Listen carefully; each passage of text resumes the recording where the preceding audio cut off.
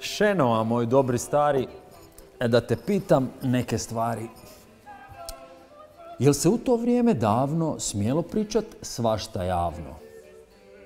Jel se u ta davna doba respektirala sloboda? Djeca misle da sve znaju, skoro ništa ne čitaju. Svak bi htio lakih para, nema više postolara. Bliži nam se krajnji rok. Eto vraga na TikTok.